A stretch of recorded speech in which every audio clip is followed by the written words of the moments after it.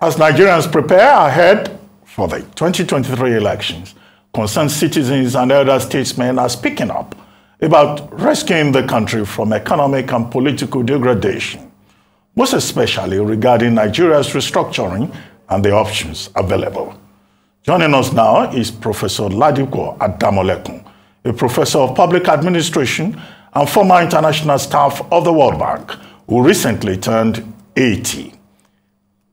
Good morning, Prof, and thank you very much for joining us on the morning show. Good morning, Reuben. Congratulations on your recent uh, birthday. Thank you, sir. Well, and congratulations also to you on your 80th uh, birthday in July and the publication of your autobiography, I Remember. Now, Nigeria is going through another round thank, of transition. And uh, we are all, this morning we've been talking about the 2023 uh, general elections and the politicians. Uh, what do you think is the missing link in this entire political uh, process? And what should we be more concerned about as Nigeria moves towards uh, that transition in 2023? Uh, I'm a believer in Nigeria as a genuine, some say true federation. In 2005, I said that without devolution, Nigeria would not function properly.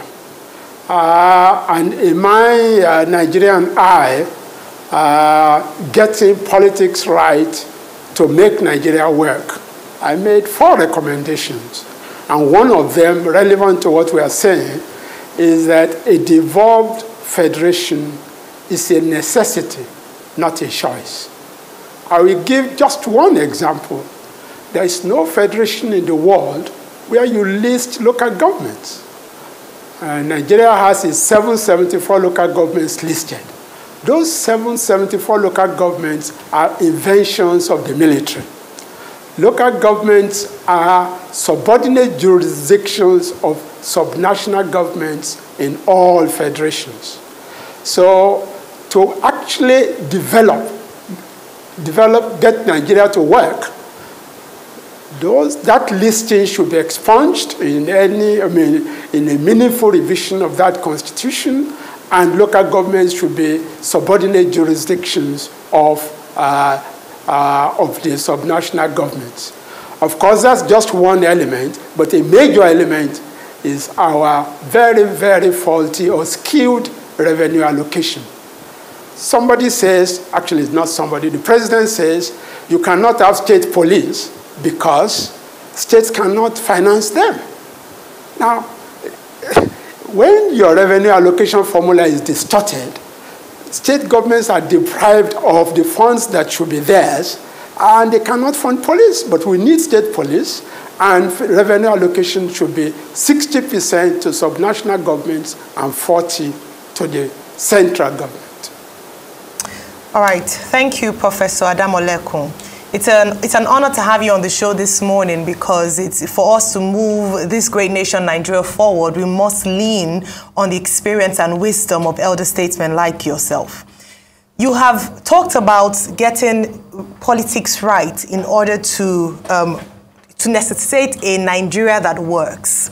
In your monograph, you talk about how Nigeria can work, and you refer to your time, you know, when Nigeria worked at least better than it is now. What are some of the recommendations beyond, as you've mentioned just a few seconds ago, the devolution of powers to a true federation? What are some of the other recommendations you'd make for in Nigeria to truly work, that truly works?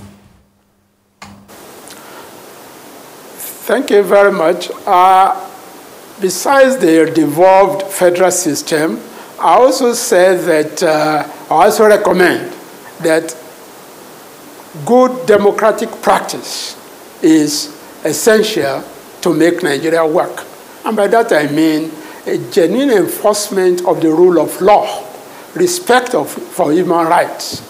Because when you respect human individual rights, you are not only setting, uh, getting citizens involved, but the law that protects human rights is the same law that helps to ensure uh, enforcement of property rights.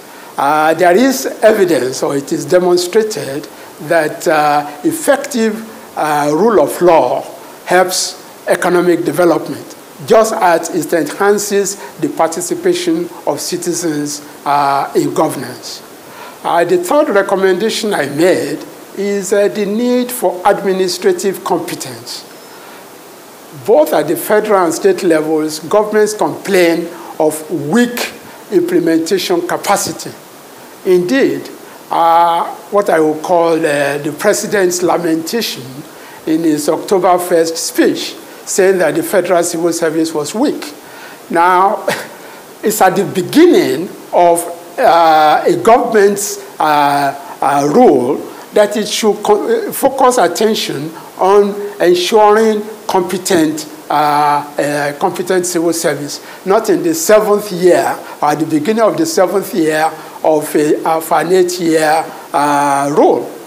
Um, there is example in the country, for instance, of how administrative competence made possible the giant development strides in Western Nigeria in the 50s to the point that the uh, outgoing premier of Western Nigeria in 1954 claimed that all the achievements were made possible to a considerable extent by the competence of the uh, civil service.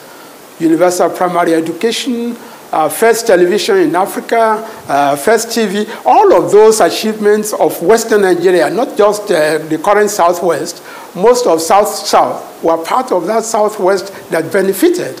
Administrative competence was a key. Uh, the other uh, uh, regions at the time also enjoyed administrative competence. So nationally, poverty level was just around 25% uh, by the mid 60s. Today, it is 63%.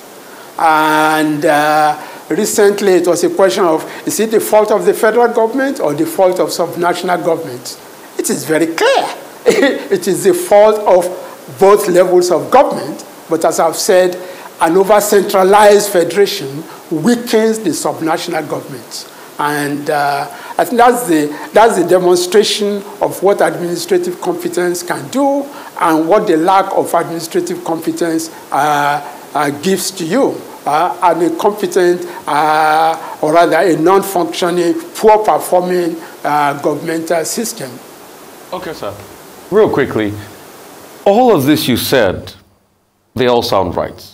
The reason why we have administrative, or why we had administrative competence during the western region of the 50s was because you had a larger than life intellectual warehouse leader called Obafemi Awolowo. In the east, you had Nnamdi Azikiwe. In the north, you had a Sardauna. But you cannot juxtapose that with the kind of leadership we have today. The leadership system, where predominantly you have thugs, and all sorts of people with questionable character leading our country. Today, our leadership system selection process has become a pantomime. How do we get our leadership selection process right? Thank you very much. Uh, you remind me of my fourth recommendation, which is uh, the need for development-oriented political leadership. And by that I mean a leader who focuses on growing the economy, reducing poverty, assuring security, and moving the country towards prosperity for all the citizens. That is the meaning of a development-oriented leadership. And I also uh, provided four, four key characteristics, there will be others, intelligence, integrity, competence, and vision. You are quite right that if you look at the attributes of political leadership that I identify as desirable, those leaders you mentioned combined, uh, well, I won't say most of them, but some of them. And that these days now, uh, if you take uh, integrity and competence, for instance, or even vision, because you must, for instance, uh, Abiola's vision was uh, make poverty history. Awolowo's vision was uh, life more abundant for all, which is the prosperity I talked about. So we do have examples of what good leadership is. Uh, how do we ensure that our system produces good leaders? That's a very, very tough one. But I can tell you the party system that is enshrined in the Constitution does not help us at all. Many of the provisions in Nigeria's 1999 Constitution on political parties deserve to be totally expunged. Apart from asking parties to align with the, uh, uh, the guiding, guiding policy principles stated in the Constitution, which I agree with, a constitution has no basis for saying parties should be all over the country, uh, how their finances should be run. The result is that we do not have a viable political system because there's nobody who can emerge as leader within the context of the current constitution without going through uh, our party system. And as I've said, our party system is fundamentally weak. So between now and 2023, uh, you cannot get that sorted out. Uh, which leads me to make the point that if you maintain the current constitution, whoever emerges as the uh, president, unless he, he accepts, like Yar'Adua did, the process that brought me to power is faulty, and he set up Uh, uh, uh, an electoral review commission. The results are out. They've not been implemented to date. And that's part of why we're where we are, uh, where we're in this trouble. What I'm trying to say is that the first thing to get Nigeria, to get politics right, is the change of our basic law. The basic law we have cannot take us to that promised land of a Nigeria that works. And uh, I've given some examples, revenue allocation, and I've also talked about, uh, about uh, the party system, that the provisions in the Constitution should be expunged, other than align parties. Why, why shouldn't somebody aspire to govern a state? Why shouldn't a party aspire to govern a state? And you will then have parties that are national and parties that are either state-oriented or zonal-oriented. That's the way it will work. The current system of producing leaders through parties that must be everywhere in the federation leads to the kind of uh, political leaders that you have described. So really, uh, my answer to your question is fundamental. That is, our basic law lead our, uh, the defects of our basic law lead part of the defects, especially those leading to political parties that have to produce the uh, leaders, uh, have to be expunged. And uh, the, the, the, the, leader you get in, uh, or rather we get in, in 2023, uh, but will not answer that your, your question. Well, Prof. But that leader needs to admit, yes. Well, we're trying to wrap this up uh, very quickly. You said a lot of things, but just two quick uh, questions. One, public administration. You've written extensively on this. Given our present situation in Nigeria, is there a future, really, for public administration in Nigeria? As far back as, that's the second one now, as far back as 1985, you said the university system in Nigeria had been overtaken by mediocrity. When you look at the system today, how do you feel? Because if you said mediocrity had taken over the system in 1985, what is it that has taken over now? Will you define it as a tragedy? Thank you very much for your two, two questions. I will answer them very, very clearly. On public administration, Again, it was the Yar'Adua administration that wanted or requested DFID to help with uh, a world, how Nigeria can achieve a world-class civil service. I led a team of international experts together with Nigerian, uh, top Nigerian civil servants to produce uh, a national strategy. I can tell you from experience the, from the World Bank, that strategy of public service uh, that work, that will work, and that will lead us uh, in the direction of our objectives, that strategy will compare with any strategy anywhere in the third world, even in, develop, in developed countries. But it was put on the shelves. Till today, only small aspects have been implemented. So public administration is critical. A president recognized that a strategy was uh, produced, implementation was lacking. That's a very clear answer to your question. In other words, if we want to get competent administration, we know what to do, we know what is required, let them implement the strategy there. Of course, it will be updated and, uh, and, and, modified.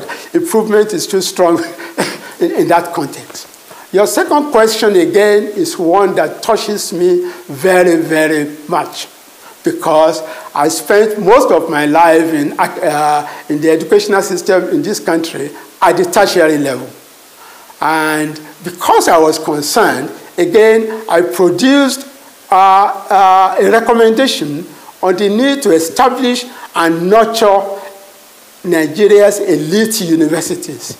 Nigeria cannot be economically competitive uh, by year 2030 if we do not set the process in motion almost immediately. In fact, since 2018, when I made that recommendation, to at least begin, I mean, at least uh, identify, select six elite universities, one each from the geopolitical zones. Uh, that's not federal character, it is doable. And some of those universities are self-selected. ABU uh, from Northwest, Ibadan from uh, Southwest, Nsukka from Southeast. Let universities compete for the uh, three other zones.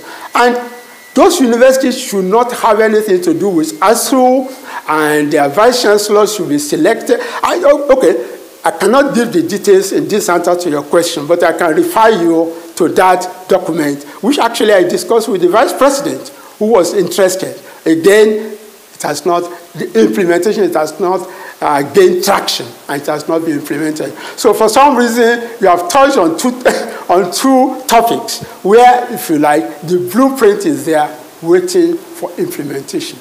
Well, thank you very much, uh, Professor Adamolekun, for joining us on the morning show. Thank you very much.